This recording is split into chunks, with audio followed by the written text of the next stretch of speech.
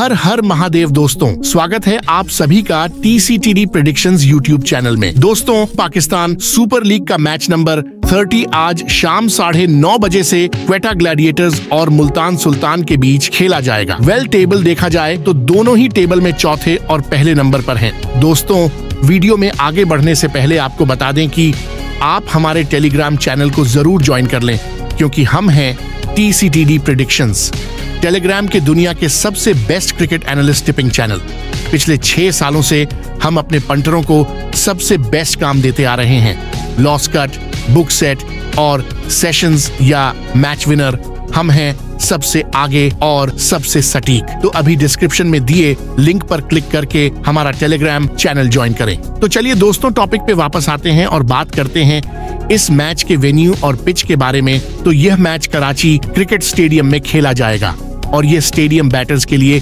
ज़्यादा फेवरेबल है। तो जिस टीम में ज़्यादा अच्छे बैटर्स हैं, उस टीम को मदद मिलने के चांसेस भी ज़्यादा है।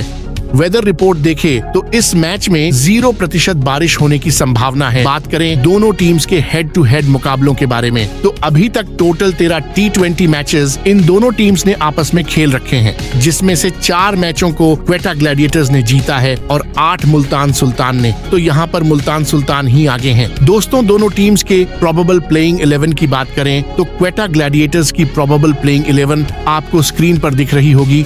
और इनमें स्टार लगे खिलाड़ी इनके इम्पोर्टेंट प्लेयर हो सकते हैं। वहीं मुल्तान सुल्तान की प्रोबेबल प्लेइंग इलेवन भी आपको स्क्रीन पर दिख रही होगी और इनमें भी स्टार लगे खिलाड़ी इनके इम्पोर्टेंट प्लेयर हो सकते हैं। और वही बेस्ट कैप्टन की बात करी जाए तो मुल्तान सुल्तान के मोहम्मद रिजवान थोड़े बेहतर कप्तान नज़र आ रहे हैं। ओवरव्यू की बात करें तो यहाँ पर एक तरफ़ है क्वेटा ग्लैडिएटर्स जो टेबल में चौथे नंबर पर है और दूसरी तरफ़ है मुल्तान सुल्तान, जिन्होंने इस पीएसएल में सबसे बेहतरीन प्रदर्शन दिखाया है और टेबल में नंबर एक पर हैं। लेकिन यह मैच दोनों के बीच थोड़ा टक्कर का होता हुआ दिखाई दे रहा है। अब बात करें विनर की तो हम मुल्तान सुल्तान को ही इस मैच का विनर मानकर आगे बढ़ेंगे। तो चलिए दोस्तों, अभी के लिए लेते हैं अलविदा। मिलेंगे कल एक नए मैच और एक नए वीडियो के साथ।